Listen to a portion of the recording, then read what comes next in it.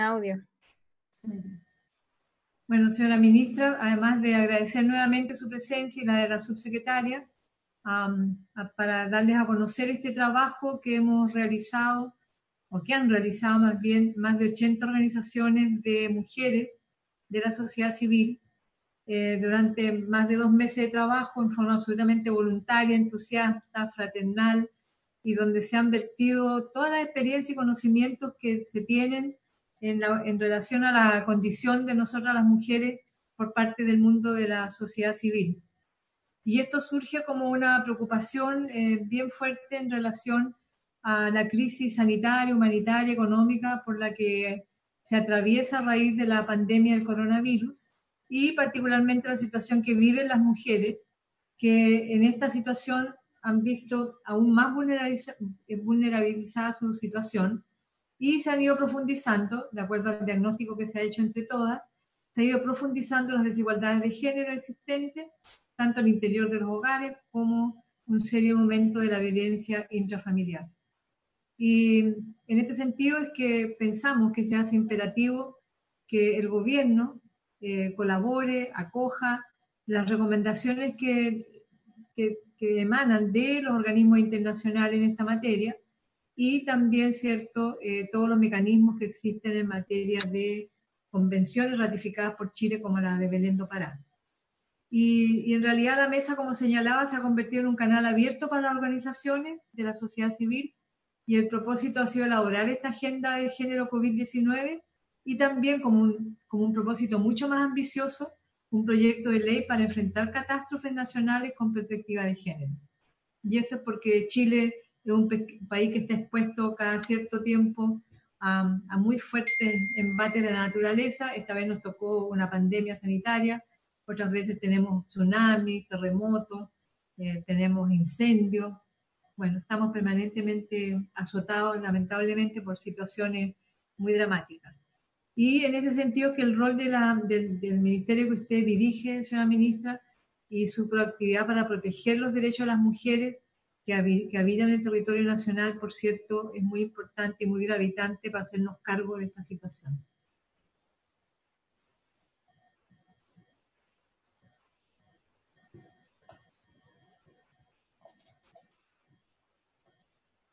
Y contarle un poco, ministra, eh, lo, que, lo que hemos hecho, como, como el mundo en que estamos las mujeres tan diverso, tan complejo, eh, al final eh, decidimos hacer el trabajo en comisiones, una de violencia de género, otra de trabajo, territorio, salud y derechos sexuales reproductivos, agua, educación y migraciones. Ahí se han distribuido todas las organizaciones, las más de 80 organizaciones, también parlamentarias, dirigentes políticas que, que han estado eh, interesadas en participar en, esta, en, esta, en la elaboración de esta agenda. Y ahí va usted a ver la larga lista que vamos en 109 con, con las diputadas, eh, con las asesoras y, y, todas las organizaciones del mundo de la sociedad civil.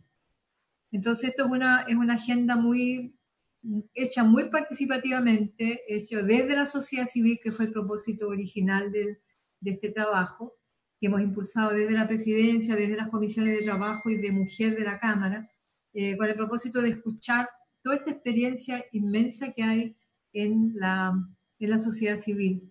Eh, y además de aquello, eh, una, hay una agenda también de temas, de temas legislativos que surgen de esta agenda, que tiene como tres niveles. Un nivel, y el que más nos interesa quizás conversar con usted, ministro, hoy día, es el nivel de las acciones urgentes, inmediatas, y que para su resolución requieren de un acto de, voluntad política, de una gestión administrativa ante situaciones muy lamentables que están viviendo muchas mujeres a raíz de la pandemia hoy día, en este momento, y que elaborar una ley es muy largo, el diseño de una política pública nueva también.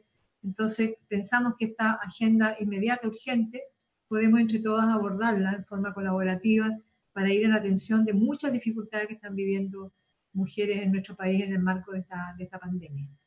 Y por cierto, hay también a corto plazo, que sería el rediseño o redefinición o puesta en marcha con más agilidad de políticas públicas. Y además de eso una agenda legislativa que surge de esta propia agenda elaborada desde la sociedad civil y también la agenda que tenemos las parlamentarias, tanto en el Senado como en la Cámara, para hacernos cargo de priorizar y darles urgencia eh, y una gestión eh, de, digamos, de, de compromiso también entre las parlamentarias para agilizar esta, esta, agenda. Eso es un poco, ministra, eh, yo voy a dar la palabra a las, a las representantes, a las coordinadoras de cada una de las comisiones eh, que van a entregar su diagnóstico y la propuesta en esta, en esta urgencia eh, que tenemos hoy día de enfrentar situaciones y que pensamos que con su colaboración, la, la, colaboración entre todas, ya conversamos con la subsecretaria de Salud, la doctora Daza, que también se hizo cargo, acogió, dio respuesta y creemos que es una línea que requiere de esta, de esta solidaridad entre mujeres para enfrentar una pandemia tan dramática como la que estamos viviendo.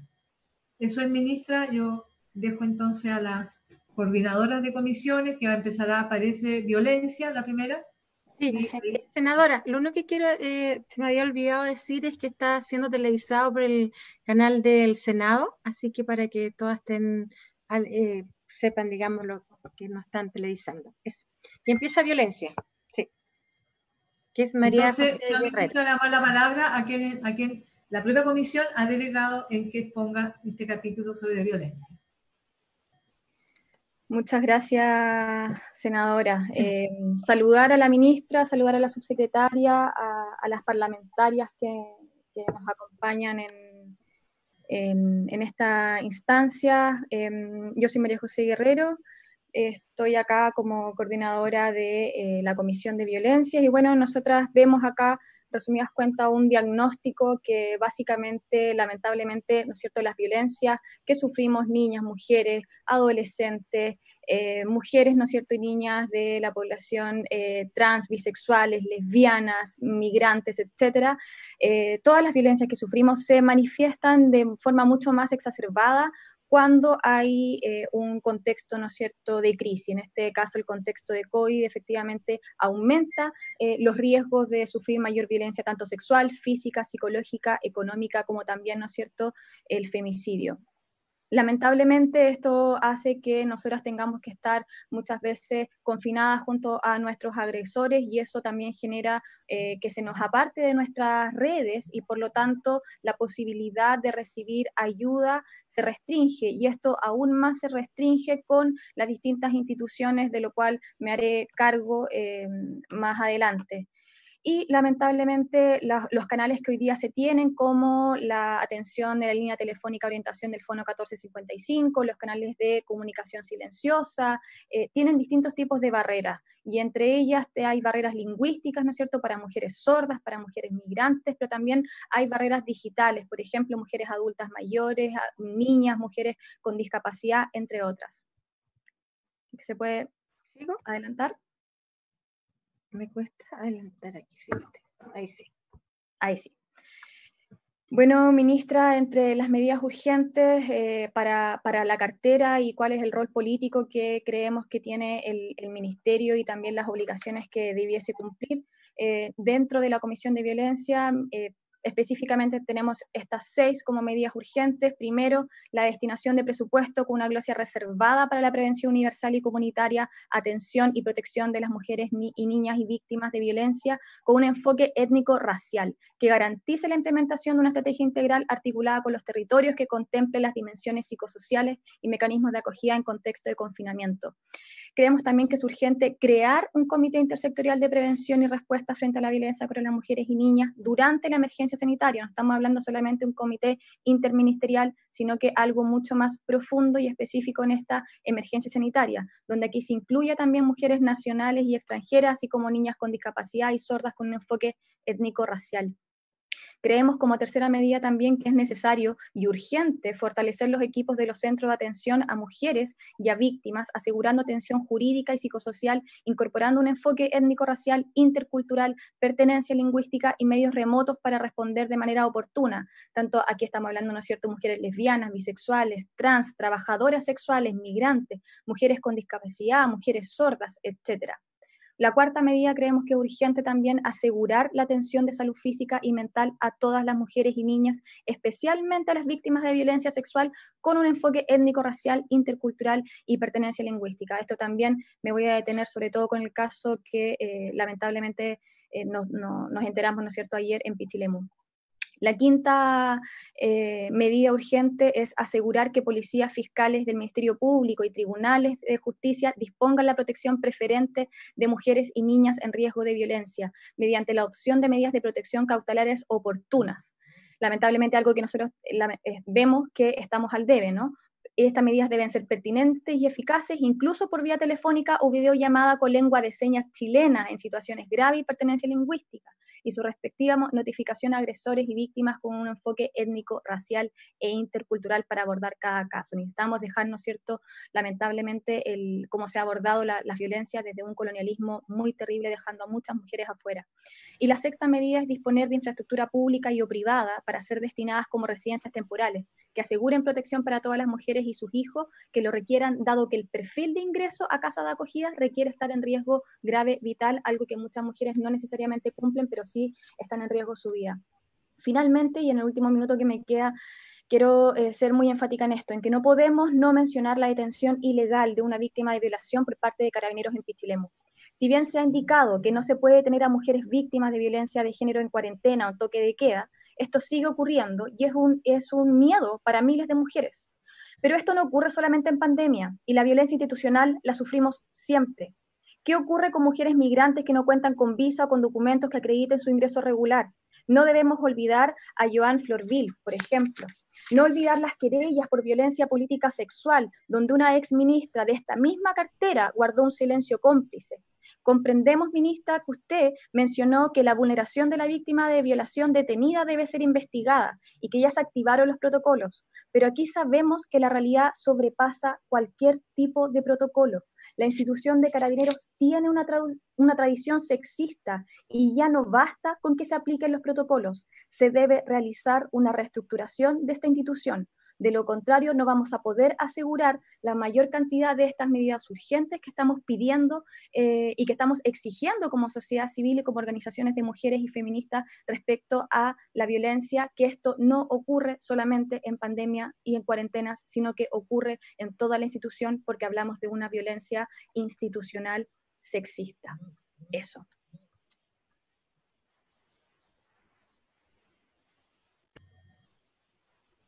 Gracias.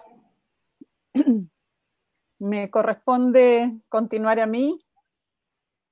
Soy Teresa Valdés. Hablo a nombre representando a la Comisión de Salud, Salud Sexual y Reproductiva. Eh, saludo en primer lugar a la ministra, a la subsecretaria y por supuesto a las parlamentarias que, nos, que nos han acompañado, especialmente a la presidenta del Senado. Nosotros tenemos un diagnóstico que revela cómo el confinamiento y la sobrecarga de responsabilidad y tarea de cuidado está cobrando una cuenta muy elevada en la salud de las mujeres. En dos planos destacamos, aunque es más amplio, en la salud mental, pero también en la salud sexual y reproductiva de las niñas, las adolescentes y las adultas. Aquí hay un tema porque la, la, Organización Mundial de la Salud definió la salud sexual y reproductiva como uno de los servicios esenciales durante la pandemia.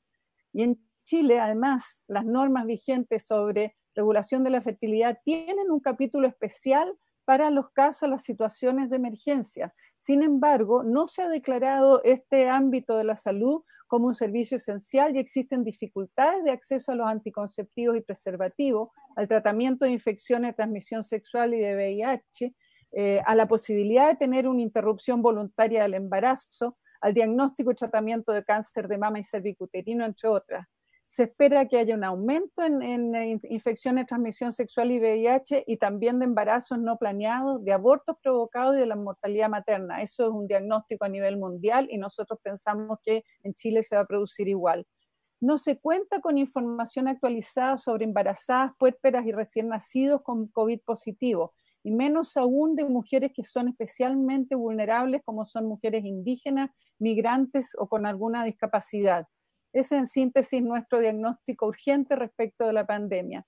Frente a esto, nosotros tenemos un conjunto de medidas que se las pedimos a la ministra, aunque ella es la ministra de la Mujer y la Equidad de Género, pero sabemos que se ha integrado a la mesa social y que su rol de, como, de ministra, que tiene la tarea de, de, mm, coordinar las políticas públicas de género a nivel de todo, de todo el gobierno, nos parece muy importante que ella pueda, que usted pueda representar, digamos, el tipo de medidas que estamos planteando. Claudia, necesito la, siguiente. Entonces nosotros tenemos las siguientes indicaciones, ministra. Eh, como en su rol, digamos, de, ministra de la Mujer y la Equidad de Género, eh, que usted se preocupe y vele de que el Ministerio de Salud dé prioridad a la atención en salud sexual y reproductiva en la atención primaria, reconociéndola como servicios esenciales, que haya un plan de, que asegure la continuidad en el acceso que tienen las mujeres al, a, la anticoncepción, a todos los tratamientos, que haya reporte de stock de anticonceptivos, que se amplíen, digamos, las medidas de manera de, que las mujeres no vean interrumpido su decisión de, eh, de control de la fecundidad. Eso significa asegurar también personal suficiente para salud sexual y reproductiva en los programas de reclutamiento de personal de salud que están actualmente en curso. Se ha hecho reconversión del personal, se ha trasladado gente y no se ha asegurado de que esté el personal suficiente en salud sexual y reproductiva. En segundo lugar, nos parece fundamental que usted abogue porque el Ministerio de Salud difunda información sobre el derecho que tenemos las mujeres a la interrupción voluntaria del embarazo en la situación de pandemia. Pareciera que hubiera desaparecido. No se nos entregan estadísticas sobre la aplicación de dicha ley en la forma oportuna y es necesario que se asegure el stock de mifepristona y misotrol en los hospitales y también que las mujeres puedan acceder a la ecografía cuando están en una situación de la segunda causal que autoriza la ley de interrupción voluntaria del embarazo. En cuanto a los tratamientos, eh, es fundamental que el Ministerio de Salud asegure que se mantengan los tratamientos, tanto en salud sexual y reproductiva, y aquí decimos muy especialmente que no haya discriminación en cuanto a orientación sexual, identidad de género, expresión de género, el lugar donde vive la persona, situación de migración, pertenencia a pueblos originales, originarios y afrodescendientes, todo lo que hace a la prevención, orientación y diagnóstico de VIH, SIDA y TS también. Eh, nos preocupa mucho la, la continuidad y atención y tratamiento de los cánceres, también la entrega de tratamiento de reemplazo hormonal para las personas trans, el acceso y tratamiento a personas con discapacidad, el acceso a la información sobre salud para las mujeres sordas, que necesitan, ¿no es cierto?, la, lengua de señas, el tratamiento farmacológico para personas con enfermedades y la continuidad de atención para personas que están con enfermedades raras. O sea, es fundamental la continuación en los tratamientos. Esto porque efectivamente el, Servicio de Salud está haciendo un esfuerzo enorme para atender todo lo que tiene que ver con la pandemia, pero se han dejado de lado la continuidad de algunos tratamientos y algunos son particularmente eh, delicados para las mujeres. Eh, entendemos, ¿no es cierto?, que el, que el, gobierno tiene un plan de gestión de la pandemia y nosotros consideramos que usted, ministra, debe asegurar que se incorpore un enfoque de determinantes sociales de la salud, de determinantes sociales de la salud también en lo territorial, en lo intercultural y, por supuesto, el enfoque de género como uno de los determinantes sociales más importantes. También que se considere en el plan de apoyo económico que se acordó, ¿no es cierto?, ese acuerdo que se hizo con, la oposición, que se incluya beneficios para el personal de salud que está integrado en más de un 70% por mujeres. Eso tiene que ver con bonos para el cuidado de los hijos, salvoconducto permanente para los cuidadores de los hijos del personal e hijas del personal de salud. Y finalmente, ministra, es fundamental el garantizar la presencia de familiares o cuidadores de niños y niñas dependientes que están hospitalizadas. Hay niños, niñas y personas dependientes que están sufriendo tremendamente, que están hospitalizadas y no cuentan con la compañía, la presencia de sus familiares. Esto es muy sintéticamente en el documento, usted va a poder ver que son muchísimos más los que nosotros estamos proponiendo como medida, pero confiamos en su rol, en su rol como ministra de la Mujer y la Equidad de Género, que tiene que asegurar que el conjunto del gobierno tenga y asuma una perspectiva de género, confiamos en que usted va a representar entonces todas estas medidas en las instancias de la mesa social y donde corresponda. Muchas gracias. Muchas gracias, Teresa.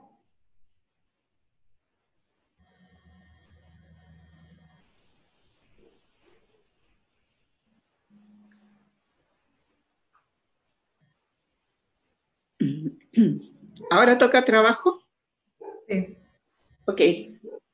Buenas tardes, ministra. Agradecemos que, podamos compartir con usted este trabajo que hemos realizado en conjunto con eh, más de 80 organizaciones sociales y sindicales y muy acompañada y apoyada especialmente por la presidenta del Senado y otras parlamentarias que de alguna manera también han hecho aporte hoy día a esta necesidad que tenemos las mujeres trabajadoras. Voy a partir explicando eh, en forma general el tema del diagnóstico de las mujeres hoy día que están en el mundo del trabajo.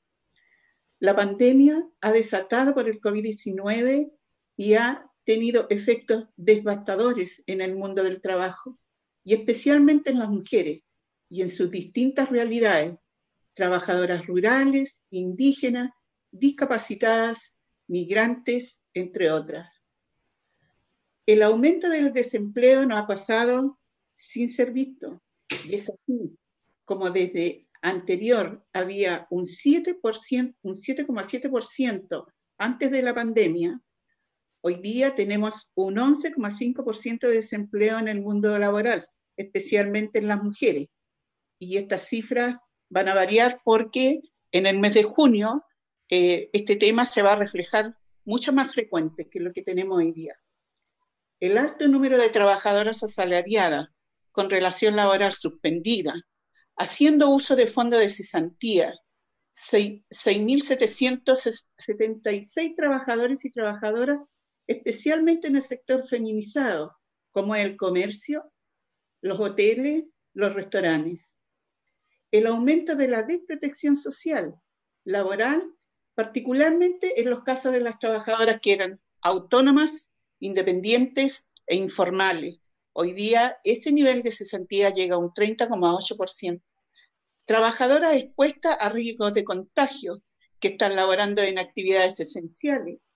Trabajadoras de la salud, cuidadoras de todos los ámbitos, de tercera edad, cajeras, aseadoras, trabajadoras de casa particular, guardias, etc.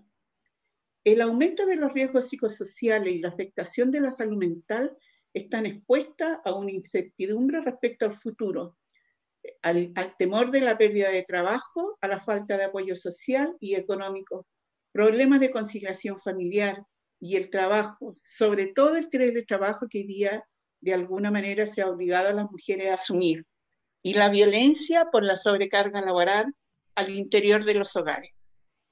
Este es un breve diagnóstico de todo lo que hay hoy día en la agenda que seguramente usted después va a poder revisar con más eh, certeza. Algunas de las medidas. Asegurar la empleabilidad de las mujeres en programa de empleo que considere una perspectiva de género, con condiciones de trabajo decente, estable, no precario, con protección social, entre otros. Crear y fortalecer una bolsa de trabajos para las mujeres desempleadas. La pandemia hace evidente la necesidad de crear un sistema nacional integral de cuidados. Aquí también tuvimos una experiencia con el término eh, de un programa de cuidado que había en el Ministerio de la Mujer y que luego no tuvimos razones por qué ese programa fue de alguna manera eliminado y hoy día no se cuenta para ello. Y por eso para nosotros es relevante hoy día este sistema integral de cuidado. Garantizar que los apoyos del Estado, el IFE, los subsidios y otros lleguen a las mujeres, especialmente a las jefas de hogar, a las trabajadoras de casa particular y facilitar los procedimientos de acceso y disminuir los plazos de entrega. En este sentido, también, ministra, explicarle de que las trabajadoras de casa particular tienen un tremendo drama. Ellas son más de 300.000 trabajadoras que día están cesantes y que tampoco van, y las pocas que están trabajando no van a, no van a tener derecho hoy día a la protección de la maternidad. porque también hay el proyecto eh, que expande las licencias médicas, pero más que nada el proyecto que ingresó el gobierno, que hace uso del beneficio con el fondo de cesantía. Queremos explicarle que las trabajadoras de casa particular no van a tener recursos en el fondo de cesantía para hacer uso de este beneficio. Por lo tanto, también ahí hay una gran tarea del Ministerio de, la Mujer. Asegurar que las medidas señaladas incluyan especialmente a grupos específicos de trabajadoras más vulnerables, las trabajadoras sexuales, de casa particular, discapacitadas, cuidadoras, de cuidadoras eh, trabajadoras de la cultura, migrantes, indígenas, etc. Por último, ministra, también solicitar a través suyo que pueda conversar con el Ejecutivo la idea de poder legislar sobre un convenio, el convenio 190, que es de la OIT, que se, se confirmó el año pasado en Ginebra, que pudiéramos contar con su apoyo para que este convenio también pueda ser ratificado en el Congreso. Es un convenio muy relevante que le da la base para poder hacer leyes y poder avanzar en materia de violencia en el trabajo hoy día en el mundo laboral. Muchas gracias, ministra. Muchas gracias. ¿El convenio que te referías convenio 190, perdón? ¿Sí? Bueno, continúo. Mi nombre es Rosario Olivares y soy de Educación. Eh, saludar a la ministra, a la subsecretaria, a las parlamentarias y a todas las compañeras feministas que nos acompañan hoy. Eh, a propósito del diagnóstico en educación, es relevante decir hoy que el universo de las y los docentes en el país alcanza un total de 392.549, considerando la educación parvularia, básica, media y superior. De este universo y del total de educadores, las mujeres representan el 73% del total y en el caso de carreras de educación diferencial y párvulos alcanza un 98% la feminización profesional. En este contexto, la ausencia de una perspectiva de género en las normativas y políticas educativas, sumada a la crisis sanitaria actual, tienen como resultado el aumento considerable de la carga y el agobio laboral para las trabajadoras de la educación. En relación a este diagnóstico, nosotras quisiéramos presentar cuáles son las medidas urgentes. Claudia, ahí está. Muchas gracias. La primera medida que consideramos que se debe tomar en el campo de la educación es formar una mesa social de educación con enfoque de género, particularmente por el grado de feminización de esta profesión, para responder a las urgencias de la pandemia en este contexto para ver temas como, por ejemplo, el receso docente y las vacaciones de invierno que no se tuvieron y que no permiten descansar entre un semestre a otro, o ver la falta de normativas que hay en el caso de abuso y acoso y otros tipos de violencia de género en educación y que quedaron claramente patentes en la movilización del 2018 por una educación no sexista. La segunda es generar propuestas específicas para el regreso a clases con enfoque de género, creemos que es fundamental empezar a verlo desde ya. la número tres es asegurar conectividad, formación y generación de un programa de acceso para, de tecnologías perdón, para mujeres. Como cuarto punto, creemos que es importante implementar programas de formación socioemocional para autocuidado de docentes y acompañamiento a estudiantes. También que se debe garantizar e implementar programas de educación a distancia con comunidades rurales y vulnerables. Por último, creemos que es importante suspender la evaluación docente y flexibilizar con perspectiva de género los criterios de jerarquización en la educación superior. Sabemos que las mujeres que investigan hoy día no pueden hacer lo mismo que hacían antes, estando en pandemia por toda la carga laboral que tienen en los trabajos de cuidado y reproductivo. Particularmente las últimas medidas también creemos que es muy importante que se implementen a través del acceso a la lengua de señas para todas las mujeres y niñas. Eso por parte de educación. Gracias.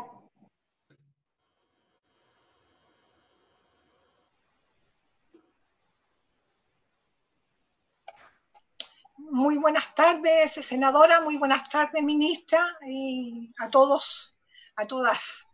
Eh, el diagnóstico nuestro, digamos, de la Comisión Territorio es primero entender qué es lo que es el espacio territorial. Y en ello estamos todos, ¿no es cierto?, con una mirada de que es un espacio heterogéneo, donde coexisten las diferencias étnicas, religiosas, raciales, políticas, etarias. Y estas se expresan a través de la bioculturalidad, la multiculturalidad, la interculturalidad y la diversidad de género todos ellos han sido afectados por la pandemia. A veces nosotros olvidamos, digamos, que en este espacio territorial, ¿no es cierto?, convergen, como decíamos, todo este espectro que es bastante heterogéneo. Eh, creemos también, ¿no es cierto?, y hay que señalarlo con alto énfasis, que en el territorio, eh, eh, ahí es donde se produce el impacto de todas las políticas públicas de un Estado que hoy día es altamente centralizado. Y esto, en el contexto del, del COVID-19 eh, se hace fundamental entonces fortalecer y garantizar la acción de los municipios a través de una gestión autónoma para la promoción de una intervención intersectorial, multidisciplinaria y comunitaria integrando a la sociedad civil. Eh, los municipios constituyen un lugar privilegiado para abordar las políticas públicas y superar las graves discriminaciones, la violencia y empobrecimiento que afecta a las mujeres, y en especial, como ya muchas han señalado, aquellas que provienen de pueblos originarios, de comunas rurales, de segmentos de mujeres inmigrantes, como también de mujeres discapacitadas. Más o menos entender entonces que desde el territorio este, que va, va más allá de un espacio propiamente físico, ¿no es cierto?, en una cosmovisión que tienen nuestros pueblos originarios, hemos nosotros eh, eh, eh, punteado, digamos, algunas urgencias. Claudia. Bueno, entre ellos tenemos creemos que es de toda, de toda urgencia, ¿no es cierto?, fortalecer los emprendimientos de mujeres incluyendo valor agregado a sus productos agroelaborados, asegurando espacios de comercialización y canales de distribución que ayuden a la economía familiar. Disponer de fondos entonces directos para emprendimientos que surjan de eh, mayormente, que surgen de, no leo ahí, pero mayormente empobrecidos, canalizándose a través de los municipios para evitar la burocracia. Nosotros insistimos que en el territorio eh, existe, ¿no es cierto?, la institucionalidad que es el municipio y eso hace que, eh, como tales, eh, esta institucionalidad conozca mucho más, digamos, las necesidades que se producen en, en una comuna. También entonces está el número dos, fortalecer las oficinas de atención para mujeres jefas de hogar en los municipios y especialmente eh, aquellas que refieren a pueblos originarios, a mujeres discapacitadas, asegurando acompañamiento para trámites que respondan a necesidades en vivienda, trabajo, educación y apoyo para la regularización de trámites como la obtención de la cédula de identidad para mujeres inmigrantes. Sin las cédulas, aquí se ha dicho ya, eh, las mujeres inmigrantes la verdad es que quedan fuera de todo eh, beneficio. Número tres, fortalecer atención primaria municipal para atender a las mujeres con enfoque, con financiamiento con enfoque de género y con financiamiento exclusivo en tiempos de pandemia, asegurando traslados de las adultas mayores de hogares, mujeres con discapacidad, sordas, eh, inmigrantes y con enfermedades crónicas. Eh, eh, estas medidas urgentes, eh, ministra, eh, es de cierto conocimiento que tenemos, ¿no es cierto?, de cómo se están dando en las comunas algunas de estas situaciones. Porque las mujeres en general, si no están en las juntas de vecinos, no van, no están yendo a los consultorios. Por eso se hace muy importante entonces que uno pueda, que se puedan garantizar a través de la atención primaria y por cierto de los recursos necesarios que la atención primaria baje baje hacia la gente.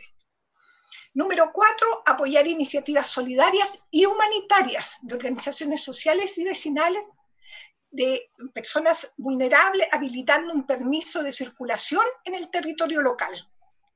y un fondo eh, de recursos especiales para atender estas iniciativas empadronadas, canalizando los recursos a través de los municipios que garanticen además albergues para la población más vulnerable. Sabemos, ¿no es cierto?, que en muchas partes, en muchas partes estas iniciativas solidarias y humanitarias están realizándose hace bastante tiempo.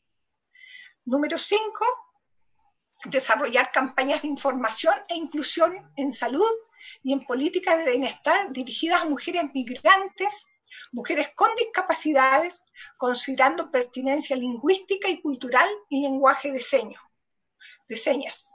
Esto eh, porque mucha gente que llega, especialmente inmigrantes, que sé yo, de pueblo originario, etcétera, no tienen a veces algún traductor que pueda eh, eh, conocer, digamos, de la situación en la cual ella está pidiendo ayuda. Y número seis, dar cumplimiento a la creación de los seis centros de la mujer comprometidos. Estos se comprometieron en las administraciones anteriores, ¿no es cierto? Eh, y, en, tiempo, en tiempos determinados quisiéramos, eh, usted ministra, y agradecerle esto, pudiera usted dar alguna fecha, algún tiempo determinado eh, para la creación de estos centros de mujer. Y también hemos pensado que es, es importante la creación de centros de acogida para hombres agresores, porque de verdad, siempre se saca a la mujer del lugar. Y está bien, pero de repente pensamos también que la mujer, ¿no es cierto?, no debería salir con sus hijos de su entorno cotidiano, porque los chicos además pierden toda su continuidad, digamos, escolar y todas las redes que tiene ya la mujer, sea de trabajo u otras cosas. Entonces, quizás, eh, ministra, eh, ver ese tema del, del centro de acogida para hombres agresores. Eso, muchas gracias por nuestra parte de la Comisión de Territorios. Gracias.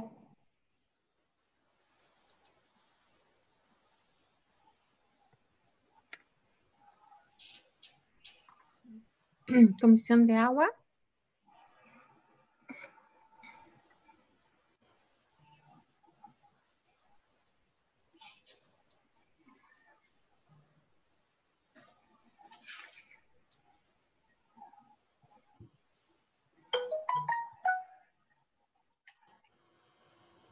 Comisión de Agua, eh, Evelyn Vicioso de la Fundación, ¿está por ahí?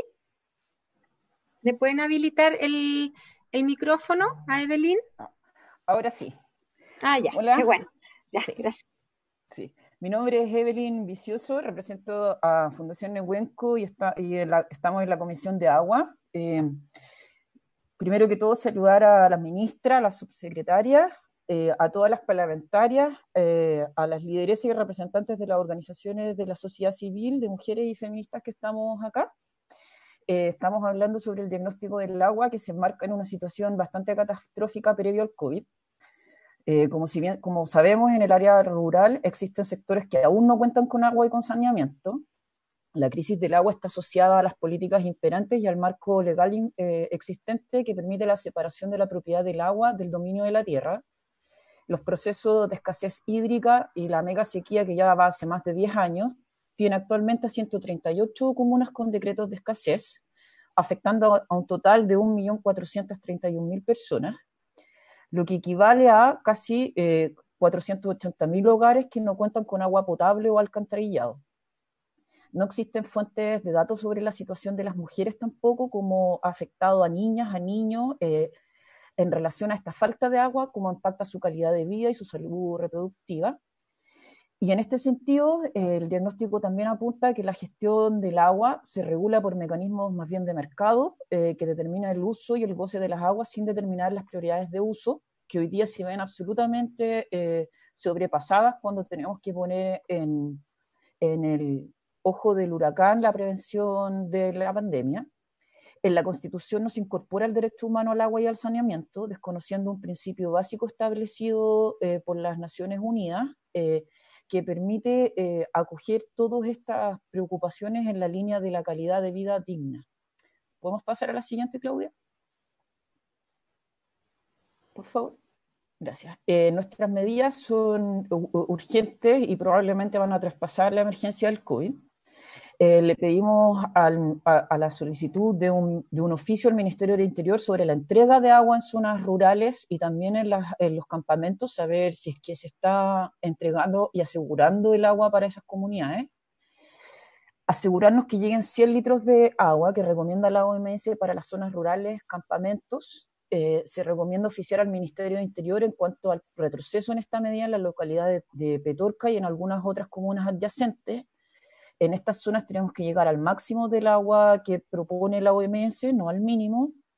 Eh, y también eh, nos parece importante aquí incluir el, no, el, el, rechazo al veto presidencial a la ley de, que impide los cortes de servicios sanitarios.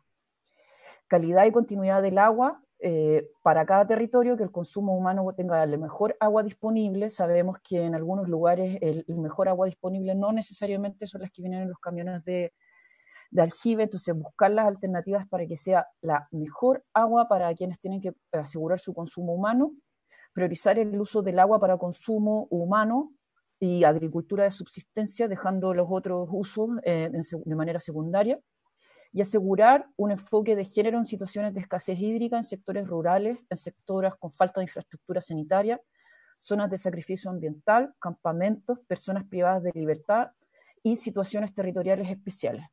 En esto también eh, invitamos al Ministerio a que nos ayude eh, a, empujar algún tipo de investigación que nos pueda dar detalles de la afectación que hay en la calidad de vida, en la salud física y mental de las mujeres, eh, de las niñas y niños y sobre todo quiénes son las jefas de hogar, que no solo tienen que asegurar el agua, no solo multiplicar sus horas de trabajo con el cuidado, sino también afectan su salud con el traslado de grandes cantidades y volúmenes de agua. Muchas gracias. Gracias. Gracias. La última comisión, migraciones.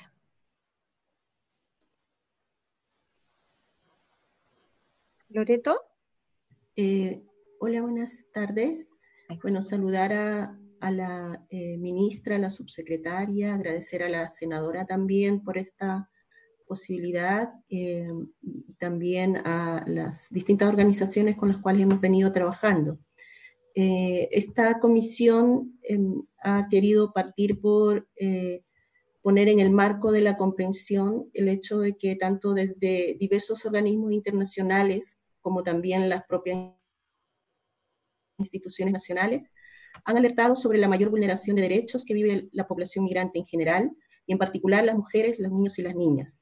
Esto se da en general en contextos regulares, sin embargo, eh, la situación es mucho más crítica en contextos de crisis eh, como eh, en la que nos encontramos ahora por la pandemia. Muchas de las comunidades migrantes y las propias mujeres migrantes se encuentran en una posición de, de mayor vulneración de sus derechos por no poder satisfacer eh, necesidades que son elementales para el desarrollo de su vida y su bienestar. Hablamos de necesidades laborales, legales o de documentación, necesidades de vivienda o de un sustento básico alimentario viéndose así eh, impedidas de acceder a distintas medidas, además del sistema de protección social del Estado. Por una parte, por encontrarse en situaciones de irregularidad migratoria o semi-irregularidad migratoria, que es un componente estructural de la gestión de las migraciones en Chile. También por falta de información o en otros casos porque las políticas públicas en general no tienen pertinencia lingüística, cultural, étnica, racial eh, o social. En este marco existe una situación de mayor eh, riesgo frente a la violencia de género como a la exposición en, eh, el contexto de la pandemia. tanto las familias que se mantienen viviendo en Chile, las familias migrantes, que están en condiciones de mayor precarización de sus vidas, como entre quienes están eh, actualmente incluso en algunos albergues o en situación de calle en espera de retorno de sus, a sus países de origen. En general, eh, la eh, vulnerabilidad frente al, al, COVID y a la violencia es mayor, ¿no? Y se encuentran sin posibilidad muchas veces de cumplir la cuarentena. En este contexto, las medidas urgentes que como comisión hemos considerado importantes relevar están, en primer lugar, comprender y, a, la ministra eh, solicitarle que pueda em, también promover que la medida de regularización migratoria sea una eh, medida que se tome eh, desde los actores que corresponden de manera eh, pronta o que esta posibilidad de regularizar la, situación de, de, derechos, ¿no? de reconocimiento de derechos a las mujeres en particular, a los niños y niñas, se resuelva a través de la emisión de un identificador provisorio, ¿no? un número de RUT provisorio que existen ahora en distintos em, servicios públicos, ¿no? El FONASA tiene uno, Educación tiene otro, sin embargo el Ministerio de Desarrollo Social no tiene, ¿no? una forma de resolver la barrera de, eh, que se pone a las personas que no tienen eh, cédula de identidad. Eh, esto permitiría que las mujeres y las familias puedan acceder al sistema de protección social y ojalá consideramos también necesario otorgarles un acceso retroactivo a las distintas medidas que se han dado como parte del plan de emergencia COVID. En segundo lugar, nos parece urgente capacitar e incluir el enfoque intercultural y étnico-racial en todos los actores, eh, las iniciativas comunicacionales, los programas que se desarrollen tanto en el ámbito general, de manera, eh, eh, los programas que se desarrollan de manera permanente, como en aquellas medidas que se están tomando por la pandemia.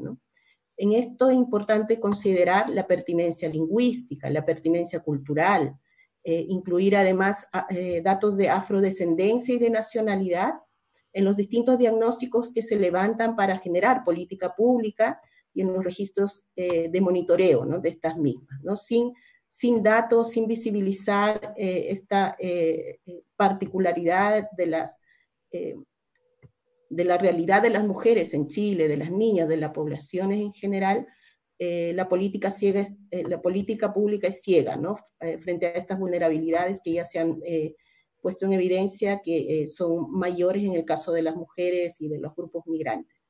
En tercer lugar, implementar un protocolo y seguimiento de casos de denuncia de violencia intrafamiliar de mujeres migrantes con variable de discriminación racial y fortalecer la gestión de las denuncias que son ingresadas a la Oficina de Información, Reclamos y Observaciones, a las OIRS, ¿no? Así también nos parece importante que se abran las investigaciones que corresponden a los casos eh, de mujeres migrantes o de migrantes que han fallecido por efectos del COVID y que eh, frente a ellos se han denunciado la posible negligencia en su atención y que son casos además de connotación pública.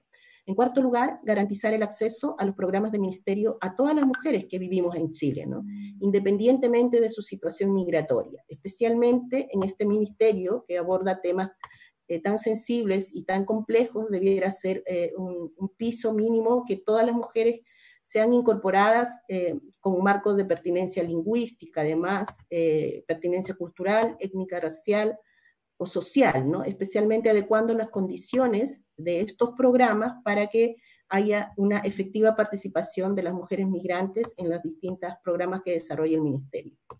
Asegurar recursos estatales para abordar las vulnerabilidades que ya se conocen de las mujeres migrantes en distintos ámbitos, en particular, eh, especialmente quienes tienen denuncias por violencia intrafamiliar.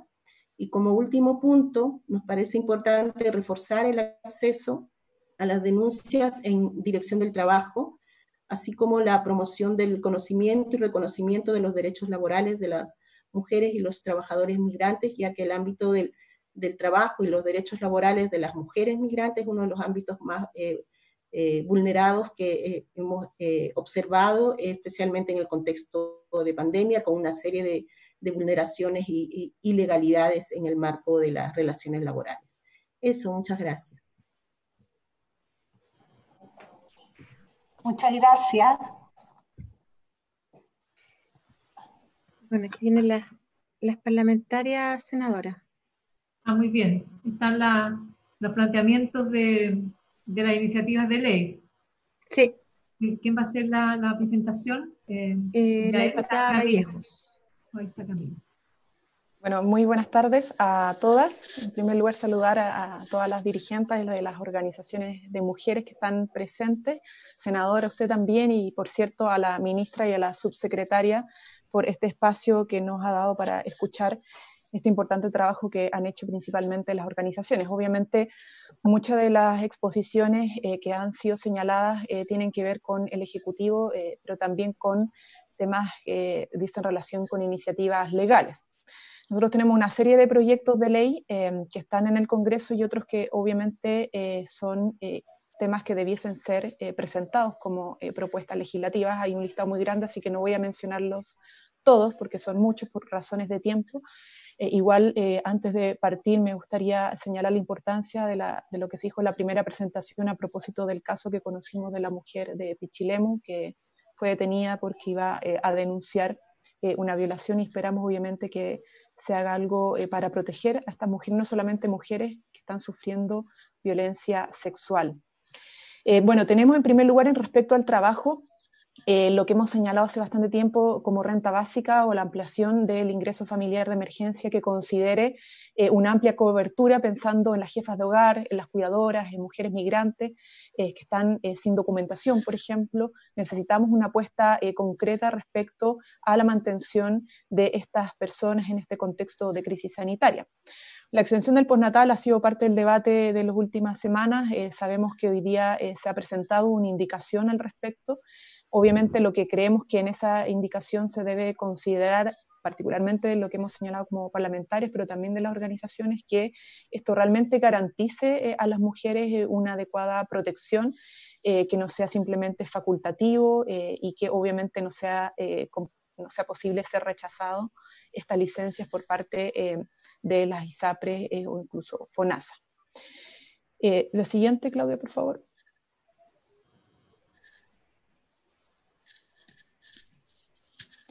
Bueno, en materia de violencia tenemos también muchas iniciativas legales. Eh, lo, primero y principal es la Ley Integral de Violencia, una, ley que creemos que eh, obviamente el Ministerio tiene que acompañar con mucha fuerza y darle prioridad para que sea eh, ley de la República cuanto antes. Lleva bastante tiempo en el Congreso Nacional. Tenemos también una propuesta que viene del Senado, que ya está tramitada en la Cámara y en tercer trámite constitucional en el Senado, que bueno, tiene como autora eh, a la senadora Adriana Muñoz, que dice relación con el monitoreo telemático a favor de las víctimas de violencia intrafamiliar. Nosotros hemos escuchado un anuncio desde el gobierno al respecto, pero consideramos que por el carácter de urgencia que tiene esto, obviamente lo mejor es apoyar y patrocinar una iniciativa que ya está avanzado en su trámite legislativo.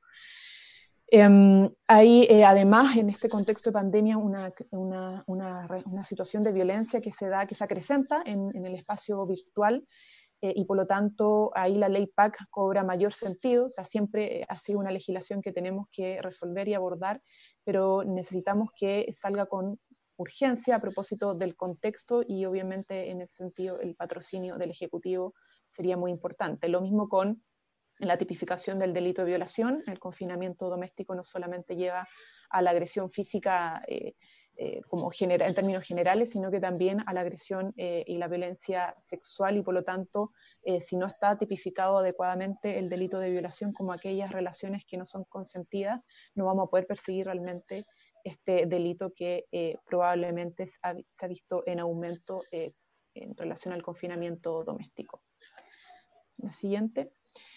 Bueno, en materia de salud, aquí hay propuestas más que han surgido em, como prioritarias desde las mismas organizaciones, la ley Cultivo Seguro, que es un proyecto de ley que está hace bastante eh, tiempo. Esto afecta principalmente a las mujeres que son perseguidas, son criminalizadas por eh, cultivar eh, cannabis para el tratamiento de uso medicinal.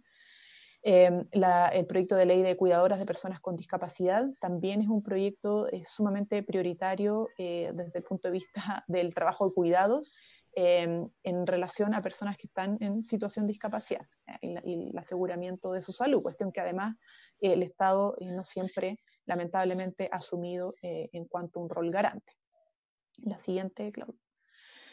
Bueno, hay un tema en relación a los desalojos de personas que no logran pagar sus arriendos. Esto nos parece muy preocupante desde el punto de vista de los territorios. Conocemos el problema del hacinamiento, pero esto además se ve muy complejizado a propósito de personas que eh, ni siquiera, eh, aún viviendo en condiciones sumamente, o sea, de alta vulnerabilidad, son desalojadas porque ni siquiera pueden pagar sus arriendos. Eh, esto es una realidad que tenemos que atender y que sufren además muchas mujeres porque tienen mayor precariedad laboral. Em, bueno, aquí se plantea una, la necesidad de tener una partida especial de presupuesto en los presupuestos municipales para eh, que puedan ser utilizados en tiempos de pandemia o catástrofe, eh, y esto a propósito también de la gestión municipal eh, que se requiere y se demanda desde los territorios para poder atender la, complejidad del fenómeno en los vecinos y vecinas en un contexto de crisis sanitaria o catástrofe nacional. Em, la siguiente, Claudia. Eh, bueno, en relación al agua ya expusieron bastante bien las organizaciones, eh, hay eh, varios proyectos que han sido bien polémicos, bueno, para qué decir lo que tiene que ver con prohibir el corte de suministros básicos, porque ahí también está el agua, que es algo que no se puede simplemente suspender a la familia, pero las reformas principalmente tienen relación con establecer la, protección del agua como como uso eh, humano eh, para el saneamiento, para el uso doméstico y obviamente para las funciones ecosistémicas. O sea, que el agua sea un derecho, que sea de uso público y que tenga como prioridad asegurar ese abastecimiento, pensando sobre todo en, el contexto de pandemia. en educación hay, bueno, el, el, tema del acoso virtual, lo que se conoce como bullying, que uno podría pensar de que eh, con la suspensión de las clases no se está produciendo, pero sí se está produciendo porque los jóvenes eh, y estudiantes se siguen relacionando en, el espacio virtual y por lo tanto este proyecto es muy importante desde el punto de vista de la violencia de género que se pueda también recoger y ya está además en, en el Senado también. Em, y bueno, ley de educación sexual, que está eh, radicado en la Cámara. Es un proyecto que también es de suma eh, importancia eh, para las mujeres, para la protección también de, de, los derechos de los niños y las niñas a una educación sexual y afectiva integral, que esperamos que también pueda ser recogida por parte del Ejecutivo. Bueno, algunas cosas ya las mencioné en materia de eh, migración, dice en relación también con la, situación de los desalojos que sufren muchas personas migrantes, particularmente eh, mujeres migrantes, y la regularización eh, migratoria, que creo que también lo señalaron con anterioridad en la mesa de migración, porque como están irregulares no pueden acceder a ningún apoyo y beneficio del Estado. Eso, senadores. Creo que fue lo más rápido posible. Muchas gracias. Eh, bueno, senadora, primero que nada, yo también quiero agradecer a María José, Teresa, Julia, Rosario, Mafalda, Evelyn, Loreto y la diputada Vallejo, y a través de ella a, los equipos que cada una representa. Eh, yo, senadora, me comprometo a revisar en detalle, en contexto general, creo que tenemos un diagnóstico bien similar, yo me costaría creer que más allá de los colores políticos, yo creo que todas las mujeres que estamos aquí en algún minuto de la vida hemos sentido las barreras que todavía existen lamentablemente en nuestra sociedad por el solo hecho de ser mujer. Eh, yo me comprometo a, poner todo de mi parte, a, trabajar con sentido de urgencia. No puedo generar expectativas, eh, la senadora me conoce, eh, me encantaría decir que me voy a hacer cargo de todo, voy a tratar de mover todo, pero todos los que conocemos cómo funciona el Estado también sabemos que esta es una larga lista necesaria, importante, seguramente algunas cosas cuando las vea en detalle van a tomar más urgencia por el momento que estamos viviendo, pero sí me comprometo a ir eh, eh, comunicándome, no sé, senadora, si a lo mejor a través suyo, de cuáles sean las gestiones que yo vaya haciendo. Acá hay un trabajo bien importante, yo recién llevo un mes, pero si algo he, concluido es que este ministerio eh, tiene que trabajar muy de la mano con el resto del Estado. O sea, acá hay muchas materias que indudablemente no van a cambiarse hoy ni nunca si no logramos eh, instalar el enfoque de género eh, en el Estado de Chile. O sea, porque hay muchas de estas leyes que indudablemente son iniciativa y patrocinio de otros ministerios. Entonces también ese para mí es un desafío enorme. Me comprometo a, trabajar eh, fuertemente eh, en aquello. con relación a la agenda legislativa, eh, yo quiero agradecer a la senadora Muñoz y a toda la comisión del Senado. Hemos estado trabajando desde que asumí de manera bien expedita, siento yo, no sé senadora, con mucha voluntad por todas las partes. Eh, la verdad es que eh, es urgente sacar la, ley de violencia, espero que lo hagamos a la plenitud posible y la verdad que hemos tenido una dinámica de trabajo que me, me tiene por lo menos esperanzada. Así que muchas gracias, senadora, por ese trabajo suyo y de todas las integrantes de la comisión.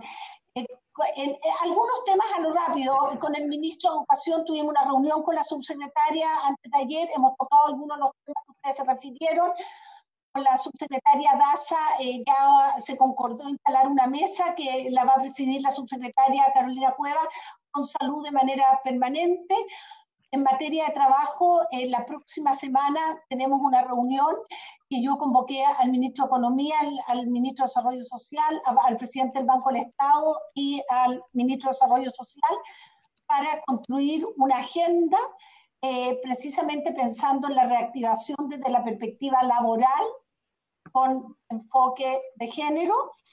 Eh, eh, eso más o menos a grandes rasgos, pero decirles que, que hay temas que quizás todavía en este mes no he podido tocar con más profundidad, hay otros eh, que sí, eh, no me he tenido todavía la oportunidad de reunirme con todas las organizaciones que ustedes representan, con algunas sí.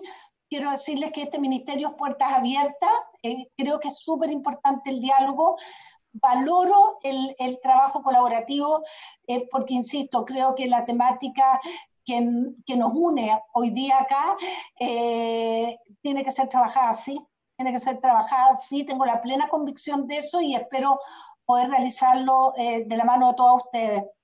Con referencia a la, a la dolorosa situación que, que, vivió eh, esta mujer en Pichilemu, yo anoche me contacté con las policías, se me ha entregado alguna información, eh, pero básicamente aquí hubo un error de fiscalía. yo oficié hoy día a, Fiscalía para que nos expliquen por qué se tomó la decisión de mantener detenida a, esta mujer.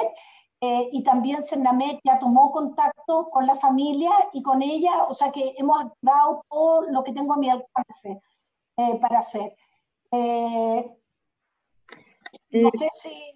ahora, Sí, lo que pasa es que falta la intervención de la diputada Gael Yoman, que venía ah, posterior. sí, no, no, así que le damos el pase a ella y ahí sigue usted. Ahí, quedo yo, yo básicamente decir gracias y, y, comprometerme a trabajar con sentido de urgencia, a revisar en un tiempo, eh, Presidenta, para revisar esto en detalle y, y, yo me contacto con usted para, explicarle qué cosas veo más rápido todo le voy a poner sentido de urgencia, pero con sentido de realismo también sabemos que eh, eh, todo no voy a poder llevar a cabo. Aunque quiera. Pero por ahí está la diputada, la diputada ahí está. Bueno, saludar la ministra también a la subsecretaria, bueno, a todas las eh, mujeres feministas de organizaciones que están presentes, a usted senadora, también a la diputada Vallejo. Em, bueno, la verdad es que a mí y, la idea de la intervención más bien era canalizar algunas inquietudes que también han hecho las organizaciones y solicitudes de fiscalización en concreto. Ya se mencionó el caso de la mujer de, de así que no voy a ahondar tanto en ello, más bien que es un caso ejemplificador y por lo tanto nos gustaría también saber los protocolos que se va a seguir de aquí en adelante, porque es de preocupación que vuelva a repetirse, a reiterarse o que o si no lo sabemos, ya se ha reiterado a lo mejor hasta la fecha y por lo tanto necesitamos tener medidas de, precaución y de protección. Eh, y por lo tanto sería muy útil poder conocerlas, ministra, si nos puede hacer llegar también eh, cuando tengan las medidas que se van a tomar respecto a ese caso, pero también a otros posteriores. Sobre también materias de violencia, hemos conocido la cifra de aumento de denuncias por medio de canales de atención silenciosa que ha implementado el Ministerio, por ejemplo, el WhatsApp, el chat web 1455, la mascarilla 19. Em, nos interesa saber, debido a los múltiples casos que llegan tanto a las organizaciones también como a nosotras eh, desde el Parlamento, cuál es el seguimiento que se ha hecho a los casos. Eh, cuántos de ellos se transformaron en denuncias efectivas, cuántas mujeres ingresaron a casa de acogida durante la pandemia. Todo esto se lo podemos hacer llegar, ministra, para que usted nos pueda contestar eh, con, mayor detalle, entendiendo que a lo mejor esta no va a ser la instancia, pero sí nos gustaría tener una respuesta. Em, también eh, sabemos que pese a este aumento en llamados de orientación, información, según el Poder Judicial, nos señalan que hay una disminución de las denuncias de eh, BIF. Entonces queremos saber eh, cuáles son las posibles causas, que nosotros también más o menos las hemos visto, pero sí nos interesa ver el diagnóstico de ustedes. Em, y si vemos que las mujeres finalmente nos están denunciando, acudiendo al sistema de atención, no nos entrega tampoco certeza la información que se ha, sido entregada por la Mesa Social COVID el 23 de junio sobre la disponibilidad de las casas de acogida para 101 mujeres, señalando en el fondo que hasta la fecha hay un 67% de ocupación, pero sí hay una disminución de denuncia y sin embargo vemos que más bien las razones tienen que ver Em, porque las mujeres podrían estar, o sea, me refiero como no, hay tanta disponibilidad tampoco de acceso público a las instituciones que están abiertas habitualmente y que hoy por hoy en una situación de cuarentena es mucho más complejo el acceso. Em, en este contexto también, ministra, eh, hay una preocupación sobre todo por eh, las denuncias que, y las 200 querellas por violencia político-sexual que fueron presentadas por el INDH que fue de hecho parte de, las argumentaciones más fuertes de la interpelación de la ex ministra Pla. Eh, y no hemos tenido información al respecto de lo que se ha hecho eh, y qué ha sucedido de ahí en adelante. Entonces nos preocupa ese silencio. Creemos que ahí el ministerio también debería tener em, alguna, alguna voz, eh, debería haber alguna información al respecto. Y nosotros eso es lo que solicitamos en concreto, ministra, que nos puedan eh, informar cuáles son las acciones respecto y en qué situación se encuentran esas mujeres que sufrieron la violencia político-sexual durante, durante esa época. Eh, y para terminar, esperamos también tener mayor información sobre los casos de violencia en el país, en qué ciudades ha incrementado ya la, violencia, sobre todo qué soluciones se le está entregando a las mujeres en, situación grave, ¿cierto? Eh, para así promover también acciones coordinadas esperamos también se pueda referir a la evaluación eh, respecto al por qué el sistema hoy le sigue fallando finalmente a las mujeres eh, respecto a la violencia de género. Por todas estas preguntas, ministra, se las vamos a hacer llegar para que ustedes nos puedan responder, como les decía anteriormente, pero más bien a esos temas se refiere. Perfecto, yo voy a esperar esa solicitud. Eh, se me olvidó comentar, eh, justamente se llegó a un acuerdo en la mesa social que el próximo martes vamos a tener al Colegio de Psiquiatría. Eh, yo puse sobre la mesa, también lo hizo el Colegio Médico, la preocupación que tenemos con respecto a la salud mental, sobre todo de las mujeres. No hay una estadística por género, eh, pero eh, sí a grandes rasgos, bueno, el día martes no, nos van a presentar este tema que es tan relevante eh, y que indudablemente se está traduciendo hoy día en angustia, alteración del sueño y muchas situaciones complejas que, que aborda la, la, la salud mental. Con respecto a las casas de acogida, tenemos una ocupación hoy día del 72%, eh, y se han tomado todas las medidas de que en caso de que fuera necesario mover de una región a otra, o sea, eso todavía está bastante controlado. Y con respecto a las denuncias, nosotros creemos que han bajado el número de denuncias presenciales por la situación de confinamiento que estamos viviendo, pero han aumentado las llamadas y los contactos por WhatsApp. Y eh, esos contactos se hace el seguimiento y cada caso es en particular. Si se requiere que esa persona vaya a una casa acogida, se la lleva, que se requiere que Carabineros vaya, se activa, o sea, hay distintos protocolos o muchas veces lo que requieren es apoyo psicológico, orientación jurídica y también eso se les está entregando. Eh, pero si quieres con más detalle, ofíciame y yo voy a estar feliz de dar la respuesta. Ministra, ahí se me quedaba un, un, tema importante en el tintero que tiene que ver con las denuncias de maltrato laboral también en el ministerio, que hemos tratado, de hecho, en comisiones pasadas. Sé que usted, ministra, está eh, recién asumiendo el cargo, pero también nos gustaría tener una respuesta por parte del ministerio de en qué situación está, cuáles son las acciones que se van a tomar al respecto. Todo esto se lo voy a detallar en un, en un documento, se lo voy a hacer llegar eh, pero en realidad estas son las inquietudes de la mesa de género completa, no, no solo mía, solamente estoy haciendo portavoz de las solicitudes de información que, que nos han hecho llegar. Bueno, muchas gracias, ministra, por escucharnos. Esta es una mesa social, eh, está, está el mundo ciudadano social aquí representado, y ese es el valor inmenso que tiene, tanto para el gobierno como para nosotras, Poder Legislativo, porque nos nutrimos de una realidad que están viviendo las mujeres en una situación de tanta drama eh, por, el, por, por, la pandemia.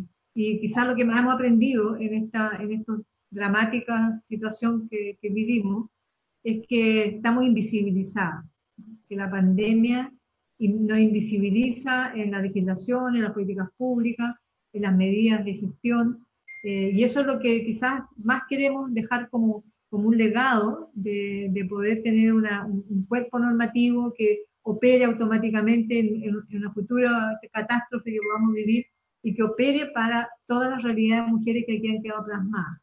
Por cierto, nosotros vamos a seguir trabajando porque además de los temas urgentes, que vamos a estar en coordinación con usted, con otros ministerios, salud, educación, eh, para las medidas urgentes, que creemos que se pueden ir con trabajo colaborativo, con voluntad, viendo cuáles son los impedimentos, que todas podemos ayudar a que se resuelva. Hay tareas de políticas públicas, ¿cierto? Y también toda esta agenda legislativa que nos han presentado las diputadas. Y aprovecho a saludar a todas las diputadas, que no las veo acá, pero sé que hay un, hay un, grupo muy grande que se ha incorporado. Isabel Allende también vi que ingresó, no sé si hay otra senadora, pero estamos todas bien coordinadas para hacernos cargo de esta agenda social desde el punto de vista de nuestra agenda legislativa y también hacer un seguimiento y en forma colaborativa lo que el gobierno pueda ir avanzando en, en el tema de políticas públicas y de estas urgencias inmediatas que, valga la redundancia que tenemos para salvar vidas de mujeres, todos los tratamientos hormonales, los medicamentos, eh, los controles médicos de enfermedades crónicas, la realidad de las migrantes, que son situaciones que a lo mejor se pueden gatillar al Ministerio ¿cierto? De, de, de Justicia, con extranjería, con, que podríamos poner todas nuestras voluntades en ir aliviando situaciones muy dramáticas que viven hoy día muchas mujeres en la pandemia. Ese era el propósito, ministra, de la reunión con usted, agradecer una vez más y a todas las integrantes de esta mesa maravillosa que se ha constituido, pese a la pandemia, lo hemos constituido pese y por la pandemia, eh, que yo creo que ha dado unos resultados maravillosos, agradecerles a cada una, porque en las comisiones donde más se puede trabajar, y yo sé que han trabajado, yo no he podido seguir día a día lo que hacen, pero yo sé cómo se han reunido, lo rigurosa, eh, lo disciplinada, lo organizada, y además han, hecho este producto eh, de una gran contundencia para que tengamos todo en cuenta. Entonces, yo quiero agradecerle y vamos a seguir trabajando en las comisiones. Todas quienes se incorporen a esta mesa se incorporan a las comisiones para poder seguir haciendo un trabajo ya más específico, más concreto, eh, postulando eh, caminos de, de, avance en esta situación. Así que, ministra, muchas gracias. Gracias a usted, gracias a cada una. Muchas gracias. Muchas, muchas gracias. Cuídense mucho. Igual usted. Chao, ministra.